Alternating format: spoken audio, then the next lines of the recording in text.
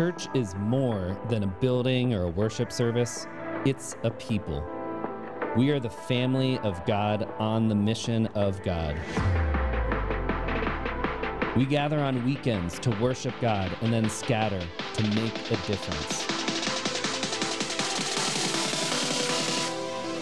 We gather in groups to connect with God, each other, and to meet community needs. We're transformed as we love and obey Jesus. We equip each person to be empowered by the Spirit and to love like Jesus loves. We will glorify God by multiplying disciples, groups, and churches everywhere. Crossroads Church, changing the world by making disciples who make disciples. Well, good morning, everyone. Welcome to Crossroads. Would you please stand together?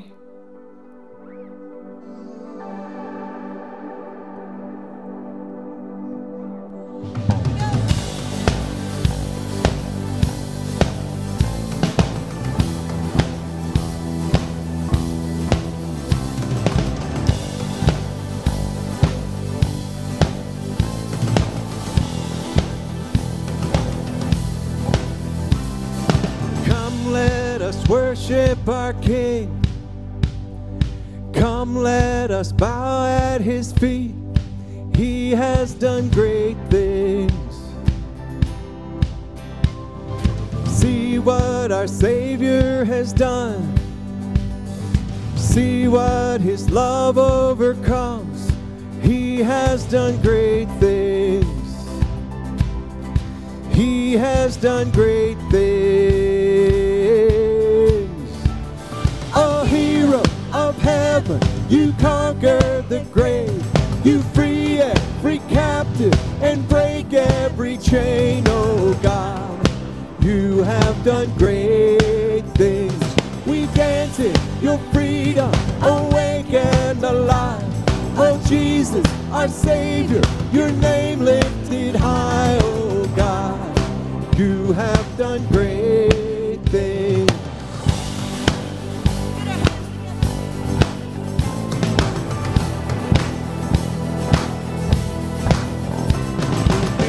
faithful through every storm. You'll be faithful forevermore. You have done great things. And I know you will do it again. For your promise is yes and amen.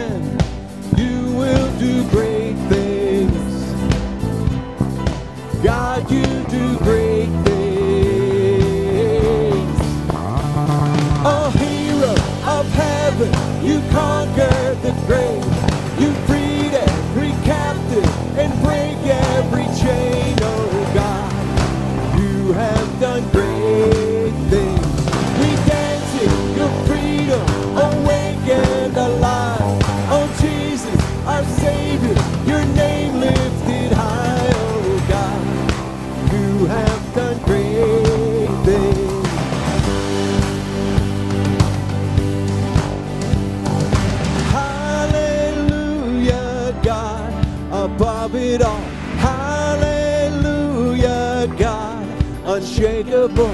Hallelujah, you have done great things.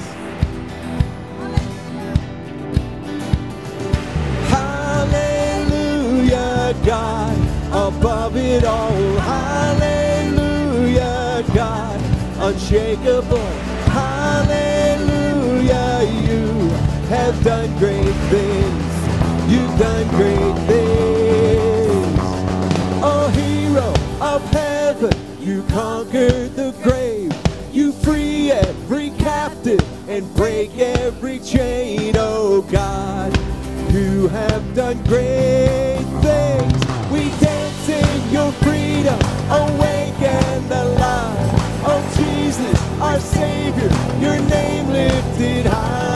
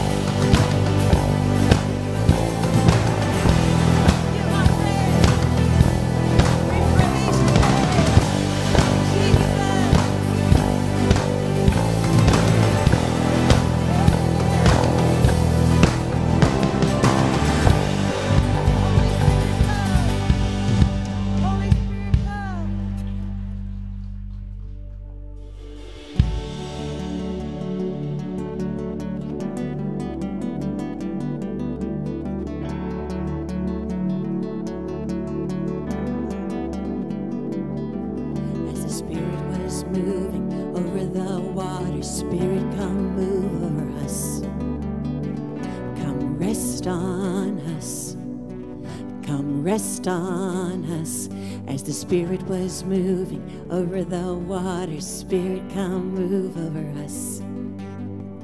Come rest on us. Come rest on us. Come down, Spirit, when you move, you make my heart pound. When you fill the room, you're here and I know you are moving. I'm here and I know you will fill me. Come down, Spirit, when you move, you make my heart hard time when you fill the room. You're here and I know you are moving. I'm here and I know you will feel me. Yeah. You will me. Come Fire and wind, come and do it again. Open up the gates, let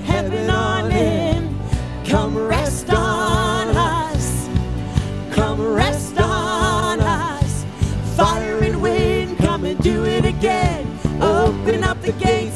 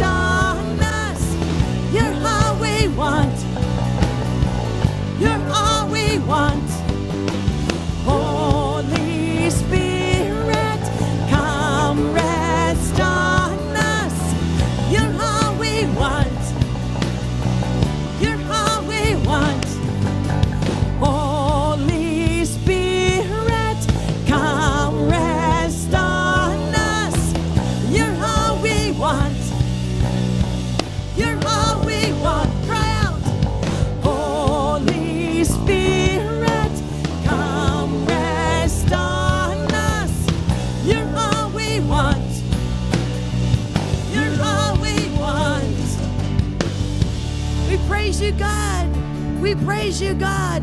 Holy Spirit, come. Holy Spirit, come. On your children, saturate us.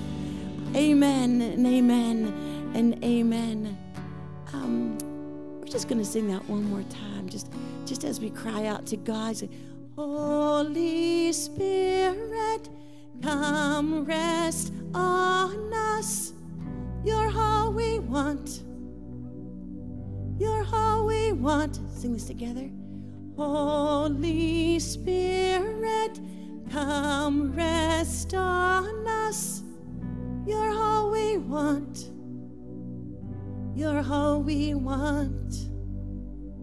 And amen and amen. We're just going to take a moment right now as God's children just to say hello to those worshiping around us. Tell someone your name, they'd love to know it.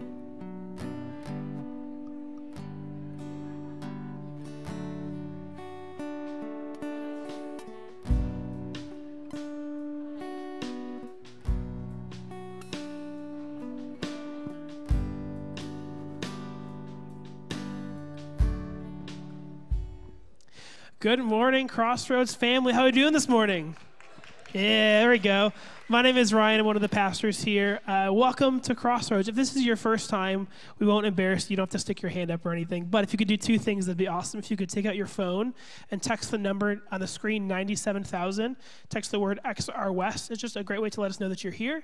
Also, we have a free gift for you. So if you head out these doors to that little white half table there, we'd love to get that gift in your hands. Also, if you have your phone out and haven't done it yet, download the Crossroads app. You can go to the Google Play Store, the App Store, search Crossroads Pittsburgh.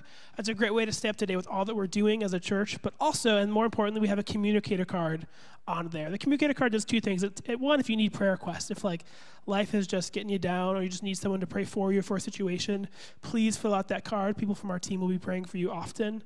As well as if you just want to serve, there's other areas you want to get involved in. That's a great way to let us know that you want to be involved. Also, if you are new ish to Crossroads, or if you, like my three year old toddler, love free donuts, please meet me after service right out these doors for Next Step. So, Next Step is just an opportunity for you to get to know a little bit more about what we do at Crossroads and also for us just to get to know you a little bit more. So, we talk about some of the exciting opportunities we have coming up. So, if you'd love to meet me, or if you just want to talk a little bit more about what we do at Crossroads and you're new ish here and want a free donut, meet me after service just outside these two doors coming up here at Saturday, April 13th, is our bless training. Now, if you've never heard that word bless, uh, what that means is a bless training uh, kind of helps equip you and teach you how to share Jesus with others. So maybe if you think, how do I share my faith with you know people in my relational circle? Bless is a great way to do that. It gives you like actual practical strategies uh, and tactics to just kind of become familiar and comfortable with sharing your story and kind of following some of the ways of Jesus. So if you're interested in just you know taking that next step and learning how do I share my faith, how do I see the people in my relational circles come to know Jesus, the Bless training is a great way to do that. So one day training, uh, Saturday, April 13th from 9 a.m. to 3 p.m. And you can register at xr.church slash bless coming up on April 19th to the 20th. I'm particularly excited about this. Focus 2024 is here. Uh, if you have a student in the room, I have a teenager, we would love to see them attend Focus. Focus is a very unique event that we do every year here at Crossroads because it's about bringing new kids in to experience Jesus, but also to go out to our communities to serve those who need it. And so, uh, coming this year, we have an awesome speaker named Angela Madden, who's from the Pittsburgh area. We have an incredible comedian named Shama Marema. And then, if you know uh, Chris Sherwood and his band, The Threshing Floor, are coming as well. Uh, so, it's going to be an awesome uh, overnight event for teens just to really find, uh, to hear more about who Jesus is and also serve our community. So, if you have a teen, please register. The early bird pricing ends today. So, go online to xr.church slash focus maybe you don't have a teen in the room, but you just want to be a part of what we're doing, head to the same website, xr.church slash focus, and there's an opportunity for you to serve. We need some servants in our meal team and also some of our groups. So we'd love to connect with you if you want to serve our students. So sign up for Focus April 19th to the 20th. Uh, lastly, I just want to talk about just a moment of, of, our offering. And so, what we do as followers of believers, part of our worship is our offering to God, right? And so, part of that obedience and sacrifice, I think, is so important because it takes kind of the pressure off of us, where sometimes we feel like uh, my life is in my hands. But I think what's cool about giving to Jesus is it kind of relinquishes that. It says, even though life is stressful or hard, I'm going to give something of my own that we value as important and put it in God's hands. And every single time, at least in my experience, God has moved and showed up. So if you wanna if you wanna give, there's a couple ways you can give. You can give one through our app. You can give from on our website, xr.church/give, or you can give in the Dropbox, little blue box in the back. So if you join me in prayer, just a moment bow your heads as we pray for the offering. Jesus, we just thank you so much for who you are. Lord, we thank you for your goodness and your grace. That every that we are here on a beautiful Pittsburgh morning, Father, that you are just alive here with us in our service. God, we just ask that you bless the offering today, that you multiply it, Father, that you will use uh, our resources better than we could, God, that you help us reach all the people here in Pittsburgh, but also all over Pennsylvania and all over the U.S., all over the world, God, that you are, are seeing just this awesome new movement of revival and renewal as we live today. So, God, we just ask that you use it. Also, God, we just pray for those in the room today who, Lord, I just, I've been getting the sense um, all morning of just this like people are tired. Like you maybe maybe you're tired, maybe uh, you just feel kind of burnt out, or maybe a little, a little bit hopeless. And I got this this picture in my mind early this morning of uh, it sounds funny, but like uh, a linebacker in football, kind of like breaking through the line so that the running back can run through. And I feel like the Lord, in some way, is saying, "Hey, listen, if you feel tired, if you feel burnt out, if you feel hurting, God is is going before you, and He's going to open a path." And so maybe you don't feel that way. Maybe life just feels heavy and hard. Today, I just want, to, want to give you a piece of hope that God sees you, He hears you, He knows your situation, and God is going before you, blazing a path for you. You just have to look to Him, that nothing else can shake uh, shake you if, as long as you keep your eyes on Jesus. So, God, let us make that our prayer today that those of us who are just feel like we're struggling, we're hurting, that God, you are before us. And as long as we look at you and our gaze meets yours, that Father, you are with us and nothing else can be against us. So, God, we love you. We thank you for all that you're doing in our hearts and here at Crossroads. In your name we pray. Amen. If you're able, won't you join me as we continue in worship?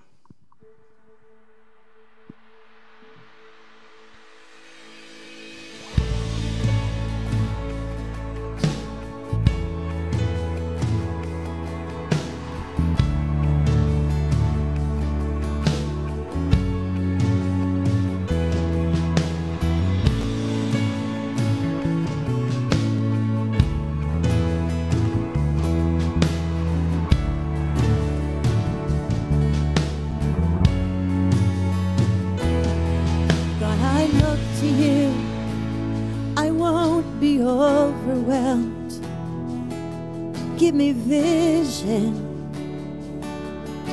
to see things like you do. God, I look to you. You're where my help comes from. Give me wisdom.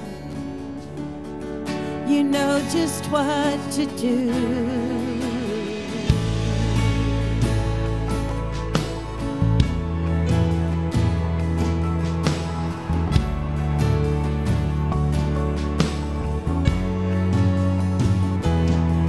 God, I look to you.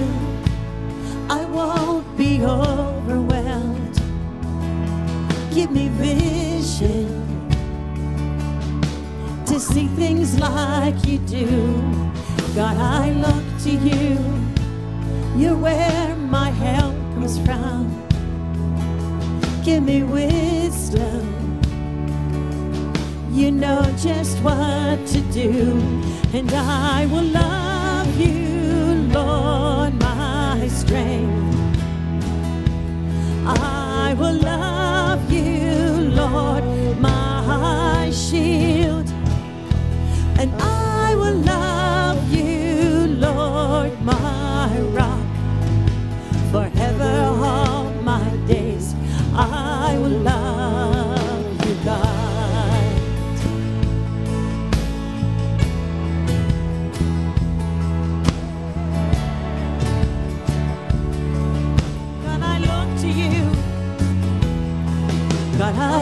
to you.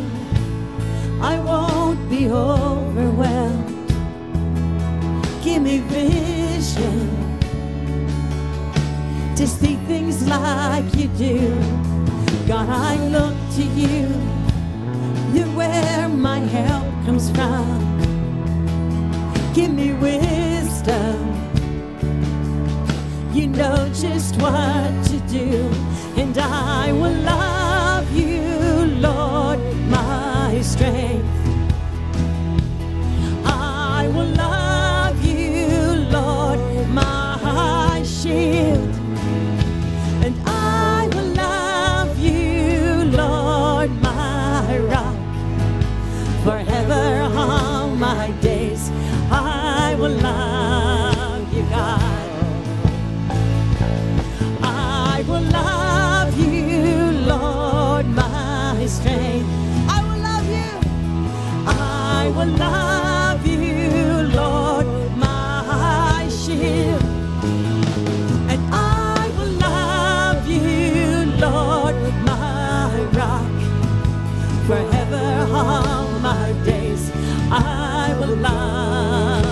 God.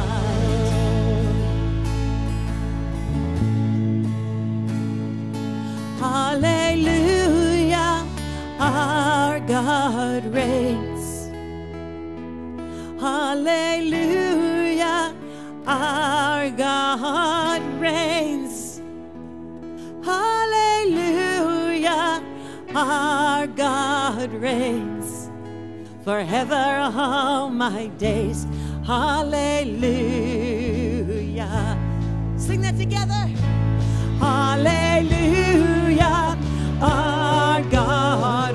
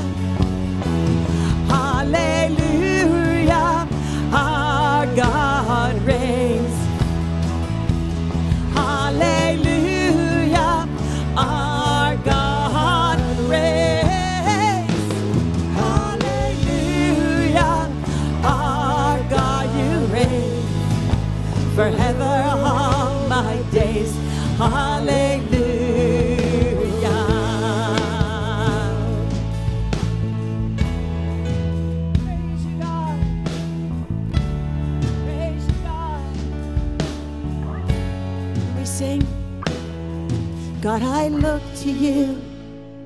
You're where my help comes from. Give me wisdom. You know just what to do. Our Father, our Redeemer, our Lord, we praise you this morning. We lift up all of our prayers to you, God. We lift up for the message that Pastor Jonathan is going to is going to give us. God, open up our ears to receive the words that you have written in his heart. I praise you, God. We praise you, God. Amen and amen. Please be seated.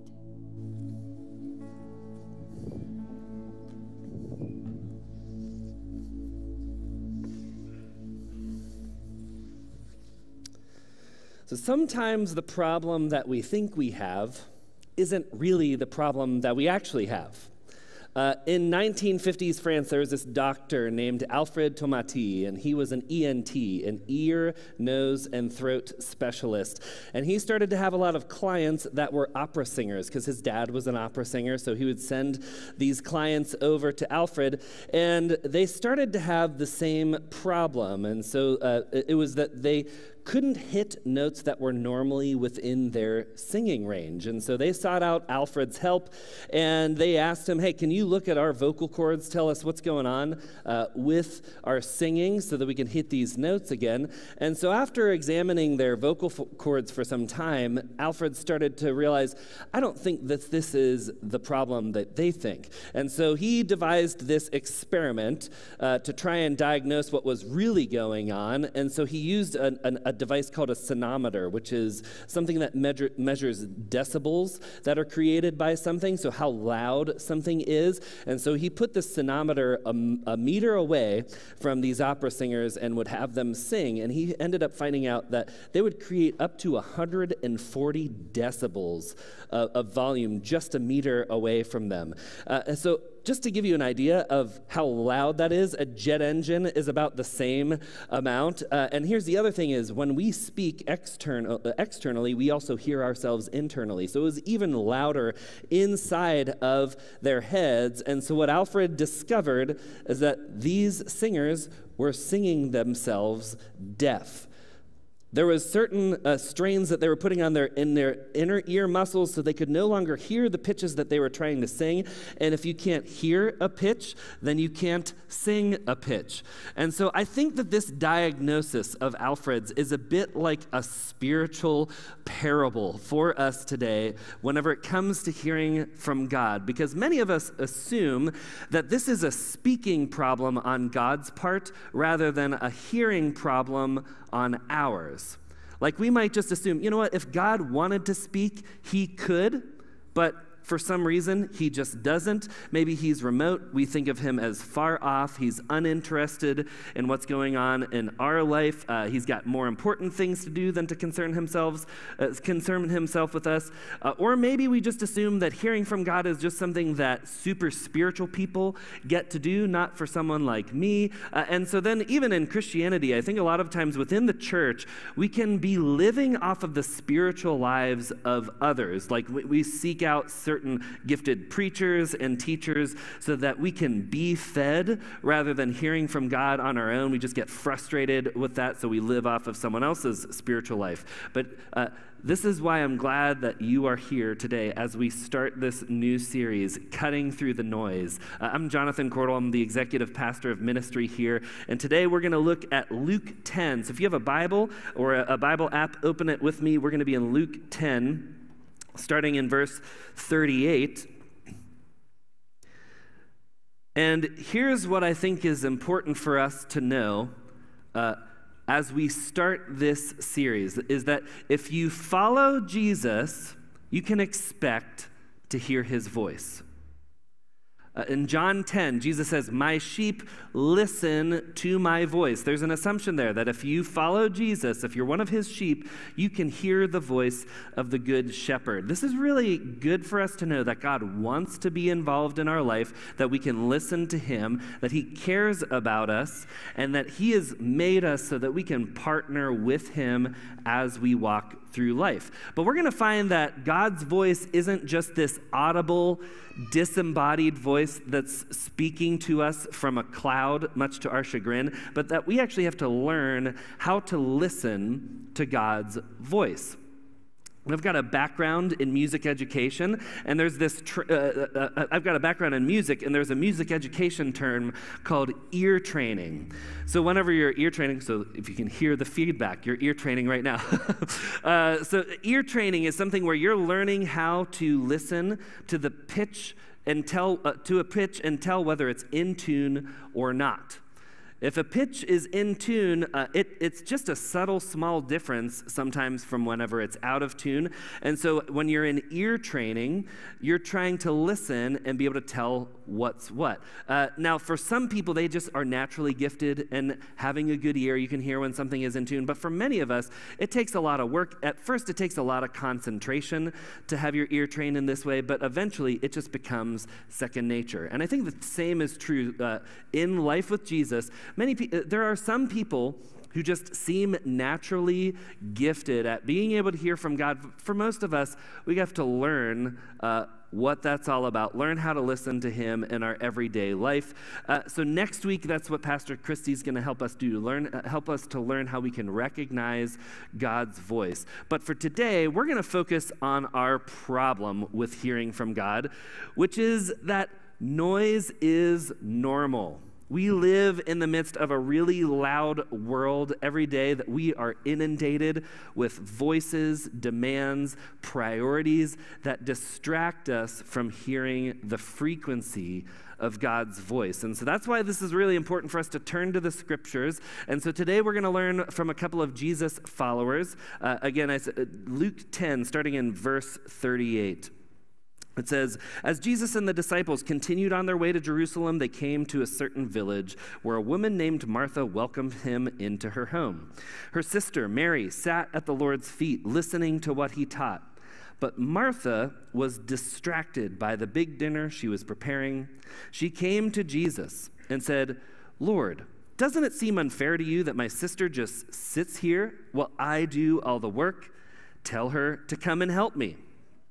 But the Lord said to her, My dear Martha, you are worried and upset over all these details. There's only one thing worth being concerned about. Mary has discovered it, and it will not be taken away from her. Now, a couple of interesting things that we should pay attention to in this story. First is that this is Martha's whole idea to begin with. She's the one that extends the invitation to Jesus over to her house. Yet she assumes that she needs to be doing all of these things for Jesus rather than be with him. Why is that? Well, I don't think it's entirely her fault during this time, it's really common for women to kind of be in the background working on entertaining while the men are doing their thing. And so this is what she wants to do. She wants to have, uh, she's got this important rabbi that's over. And for most women during this time, the, uh, uh what they can really hope for is that whoever their guest is is going to give them kudos for a job well done entertaining. That's like about the best that they can hope for. But when she comes to Jesus saying, Hey, isn't this a problem that Mary's not helping me? He flips the script on her. And he says, Actually, Mary's on to something here. Uh, like her simple desire just to be with Jesus where he is, this is more important to him than Martha rolling out the red carpet treatment. And I think this is a really good thing for us to notice is that one of Jesus' love languages is quality time. He likes it when we are with him. Now, there's something also scandalous about this that Jesus is allowing a woman to sit at his feet while he is giving instruction. This is really just not the practice of the majority of rabbis during Jesus' time. And in fact, he's lifting up Mary as this star student. He's saying, we should follow what, what her example is, and here's what we learn from Mary is that we have to stay near to Jesus in order to hear him.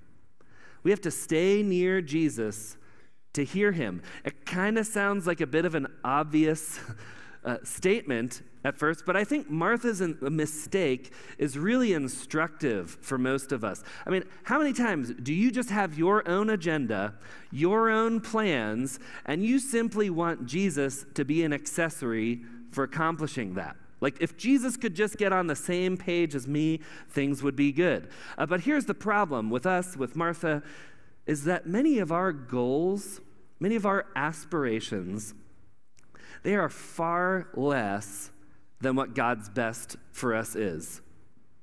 And I think with Martha, she can come off looking a little bad when you read this passage at first. Like she kind of just seems like, oh man, uh, like she's got this epic fail here. But I think actually what Jesus is doing with Martha is empowering and it's redemptive because he's saying, I don't want to just use you as a means of my entertainment.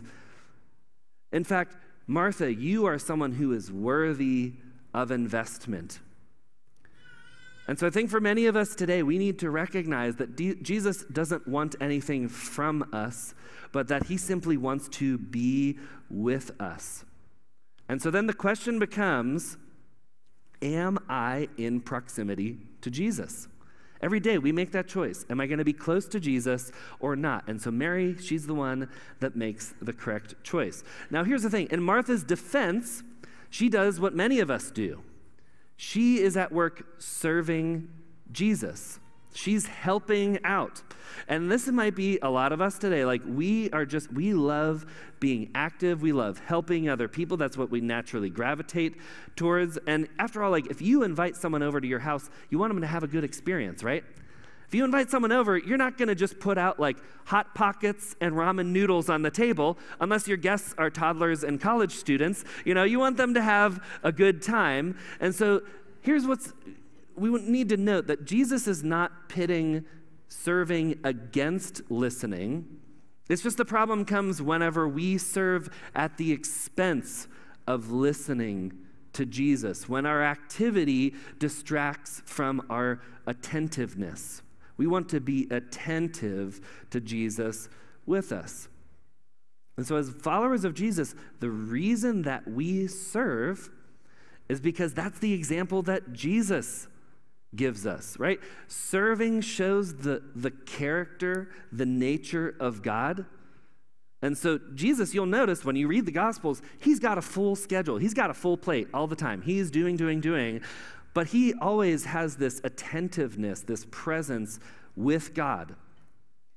But the, some of the mistake comes whenever we do things for Jesus rather than with Jesus. And this is the model that he shows us and how he interacts with God the Father. John 5 is this great story where Jesus heals a lame man uh, at, at a pool one day. The problem is that this is on the Sabbath. And so the Sabbath, there's all these strict rules of how you observe that. Jesus is breaking those rules. And the Pharisees, the religious leaders, they let him know about it. They, they take him to task. And so this is what Jesus says to them. This is the rationale that he gives. He says, Very truly I tell you, the Son can do nothing by himself. He can only do what he sees his Father doing, because whatever the Father does, the Son also does. This is Jesus' sole focus in his earthly life is being near God the Father, paying attention to what God the Father is up to. We think of Jesus as man, he's got uh, he's got an edge on us because you know he's the Son of God, he's got divinity kind of going on for him. But Philippians 2 sh- tells us that he lays down his right to be God whenever he comes on earth. And so he is just paying attention to God the Father. And so then when he's at work, he's simply doing what he sees God doing. This is why Jesus is able to use the Sabbath as this way of being present with God. So he's just saying, God, what are you up to? That's what I want to be at work doing. The Pharisees, they have settled for much less than God's best. Right? The Sabbath for them is about themselves, their own performance, their own agenda, their own accomplishments, whatever they can earn on their own. So the Sabbath and how the Pharisees observe it, it leads to pride for them. With Jesus, when he observes the Sabbath, it is this way of experiencing healing in God's presence. So I think this brings up a good question for us, which is how much would you do differently if you simply did it with God? Like in the United States, it's, it's basically our religion to always be busy, to always have activity in our life. Because, like the Pharisees, we are really about our own accomplishments. We're really about doing things on our own, filling up ev- every part of our schedule that we can. I love what uh, Dallas Willard says that grace isn't opposed to effort, it's opposed to earning. But we have very much an earning mentality in the United States. And we don't even consciously choose to live this way. It's just kind of in the air that we breathe. And so we're just doing what everybody else is doing. And I know I can just speak for myself here. Like there are times where I run the risk of getting overwhelmed with the tsunami of information and demands that are coming at me every single day. Like, I, am in a time of my life, a season where thinking my own thoughts isn't really a thing because I have a one year old and a two year old. So, like, quiet isn't something that I always get around me. Uh, so, then whenever I take my work and family responsibilities, and then I put in like what we call adulting, like taxes and laundry and uh, doing groceries, I can have all this activity in my life that's drowning out the frequency of God's voice. And I, I just know that I am not the only one in this room today who's, who's struggling with that. And so, this is why uh, Mary and Martha's example is good for us to pay attention to. And so, today we're going to, uh, as we explore how we can hear from God, let's just spend some time diagnosing our hearing problems so that God can remedy them. And so the scripture highlights this truth that spiritual hearing problems can be both internal and external. So, an internal hearing problem is really something that's sourced from me. Uh, so, it's really within my control to change. That doesn't mean it's an easy thing to change, it's just it's within my power to do so.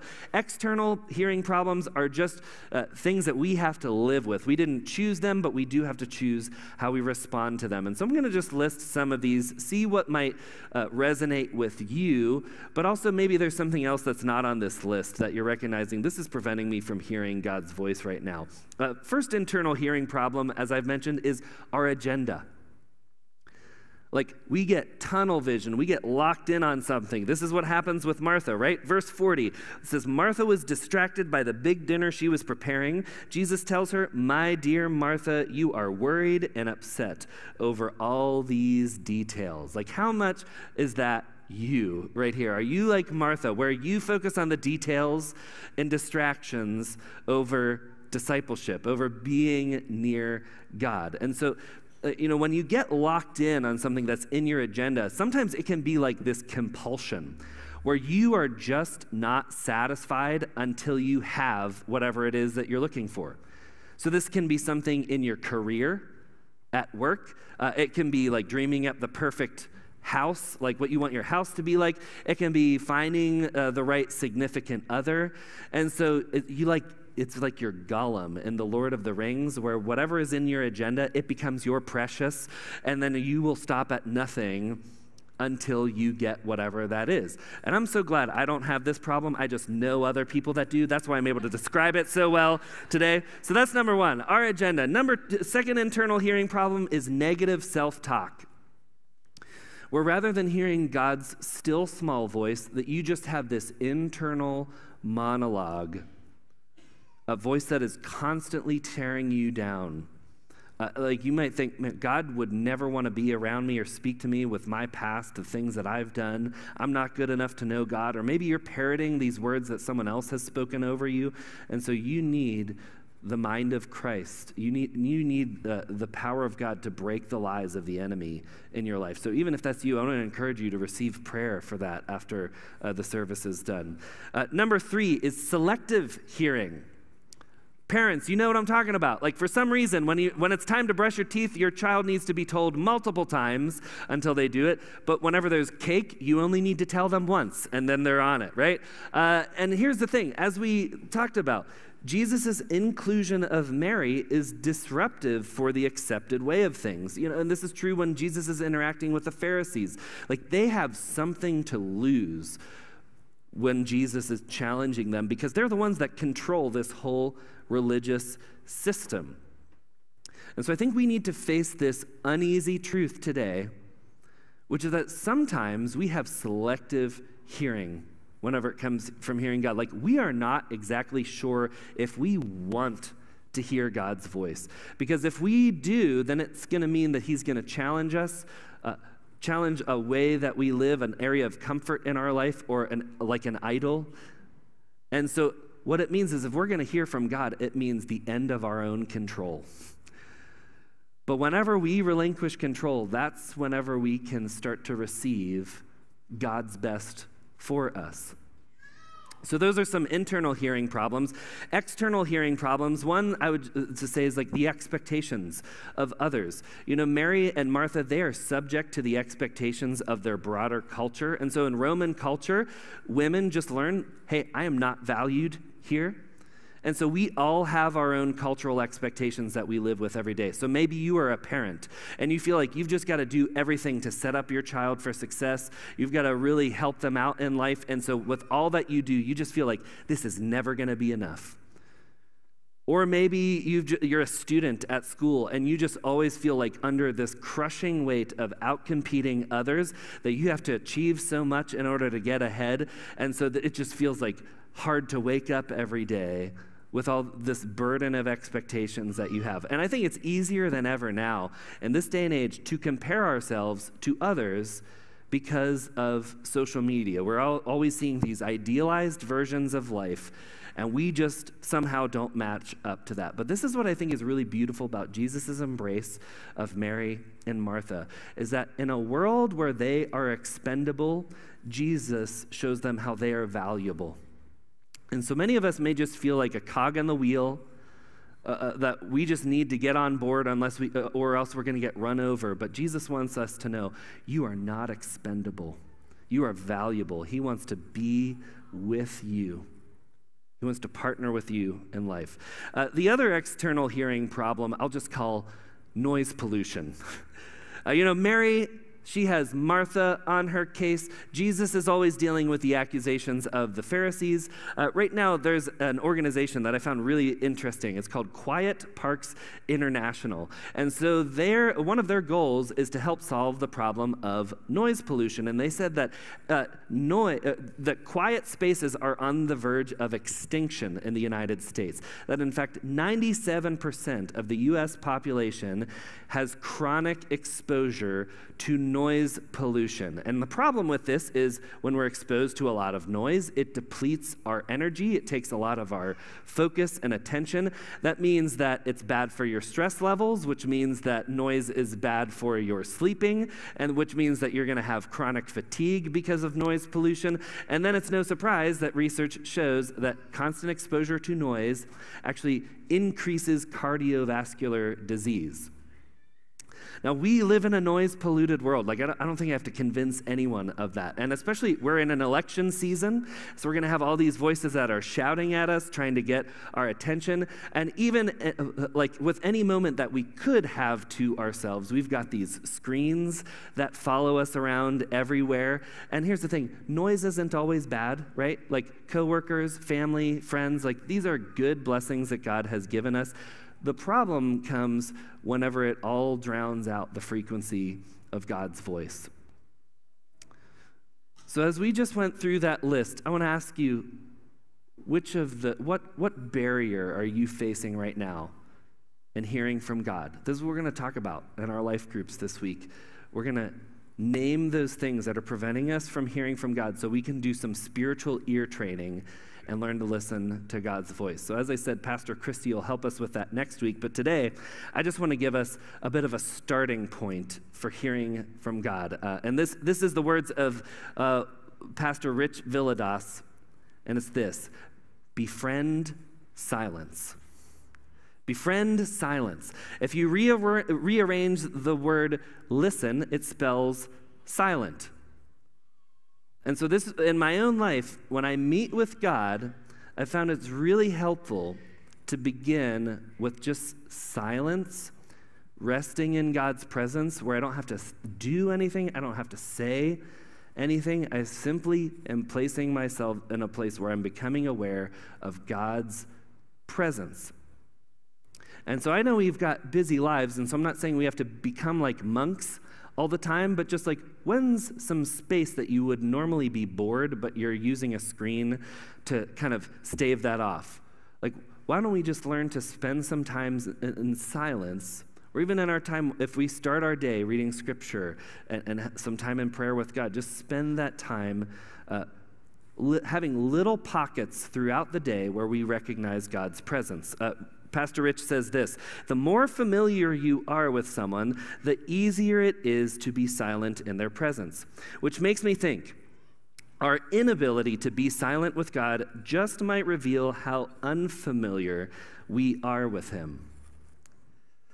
So this is why in our services too, we want to we want to make space to hear God's still small voice speaking to us, where we want to rest in God's presence. And so, if that's something that you've never done before, it tends to feel like an eternity.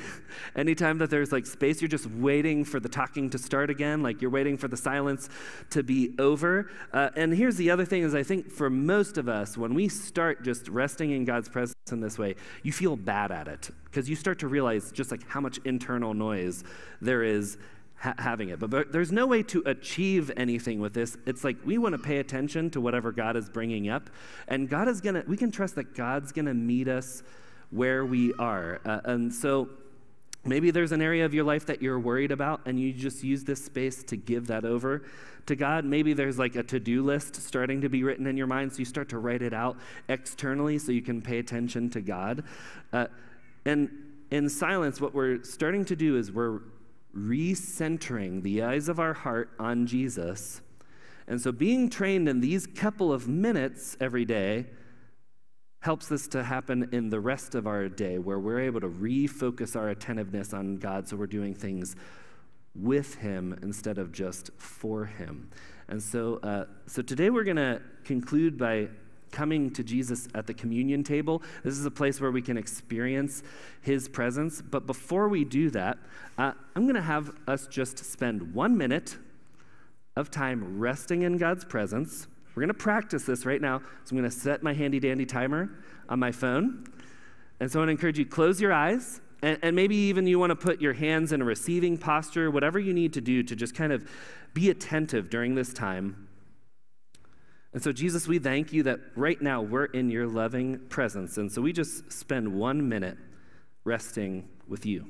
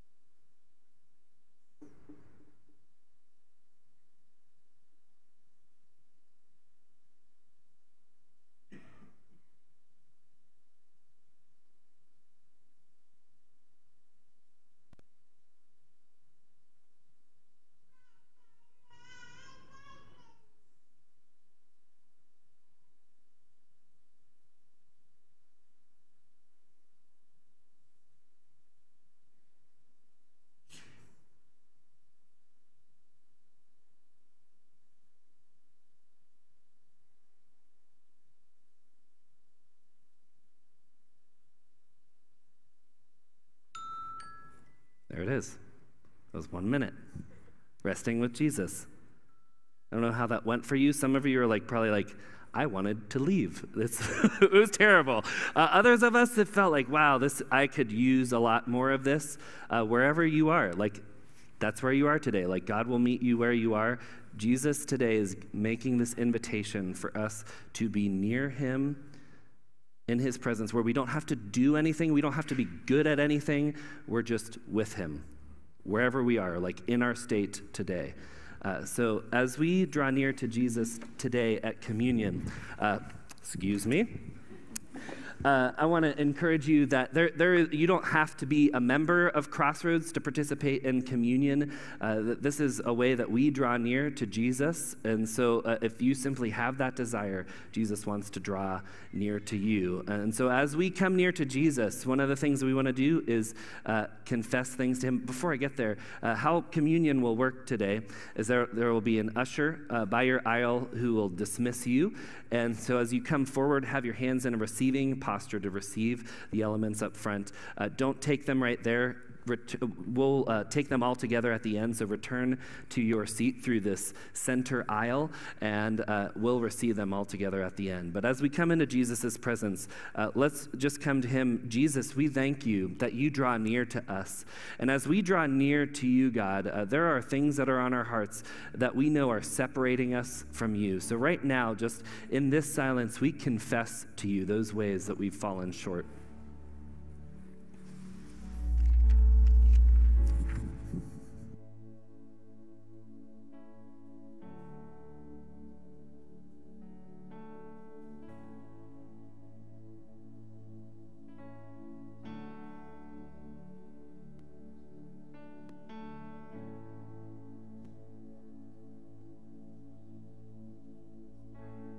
That scripture says that you are, when we confess our sins to you, you are faithful and just and forgive us from all unrighteousness. And so, God, as we come to you, we pray as Jesus taught his disciples Our Father, who art in heaven, hallowed be thy name. Thy kingdom come, thy will be done, on earth as it is in heaven. Give us this day our daily bread, and forgive us our sins as we forgive those who sin against us. Lead us not into temptation, but deliver us from evil. For thine is the kingdom and the power and the glory forever and ever. Amen. The night that Jesus was betrayed, he shared a meal with his disciples and he took the bread, giving thanks to God for it, and then he broke it, saying, This is my body, broken for you. After they had eaten, he took the cup, and once again he gave thanks to God, saying, This is the blood of the new covenant poured out for the forgiveness of your sins and for the sins of many. As often as you drink from this cup, do so in remembrance of me. The gifts of God are here for God's children. Come and eat and be satisfied. Would you please stand together?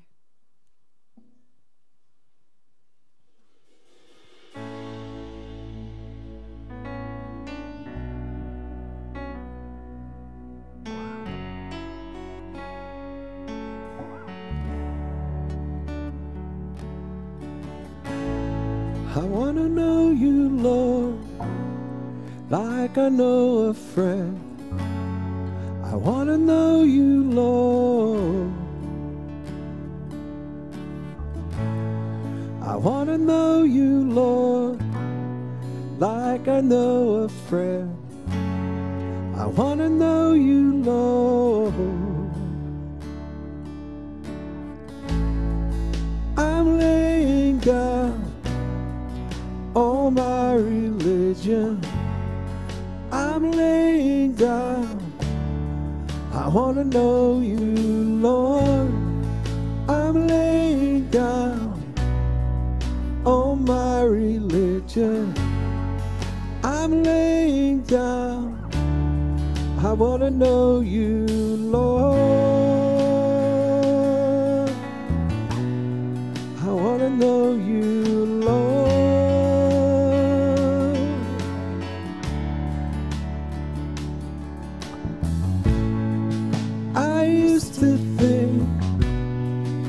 I could box you in, but I'm laying down.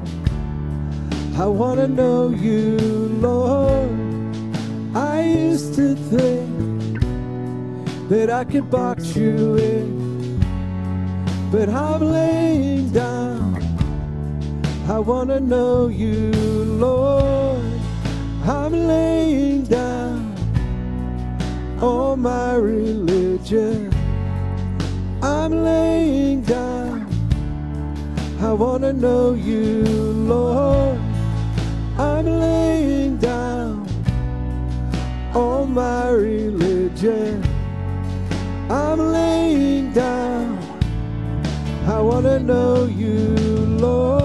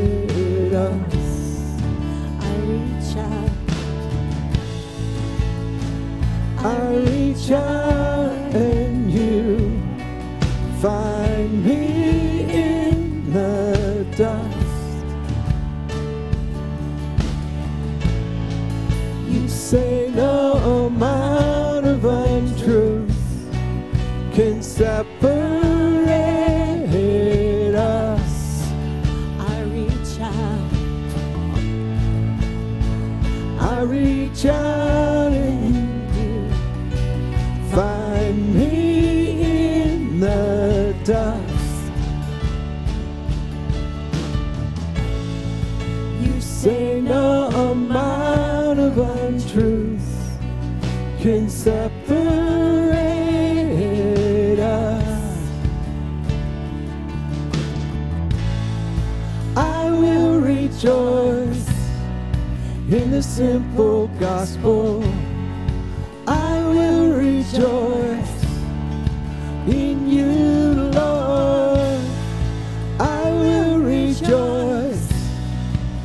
simple gospel. I will rejoice in you, Lord. I will rejoice in the simple gospel. I will rejoice in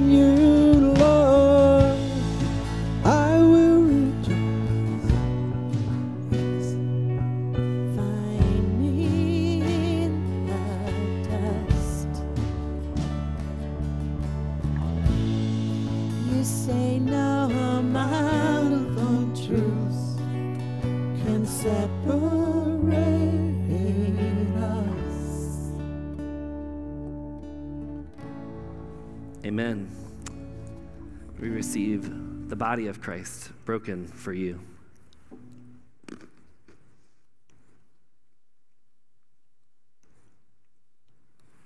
And the blood of Christ shed for you.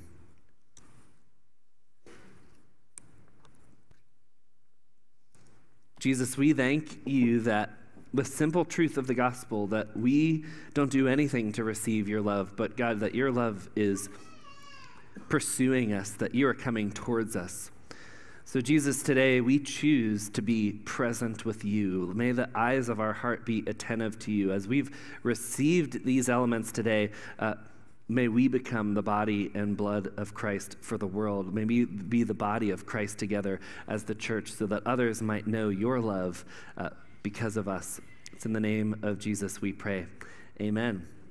So that concludes our service. I want to invite you, if you want to receive prayer, come to the foot of the cross for that. Uh, Ryan is out in the lobby with some donuts if you want to go there for next step. Uh, there's a blood truck outside that uh, you can donate some blood today. They're taking some walk ins. But as we go, we're done being the church in here. We're going to be the church out there. Go in God's peace and serve the Lord. Amen.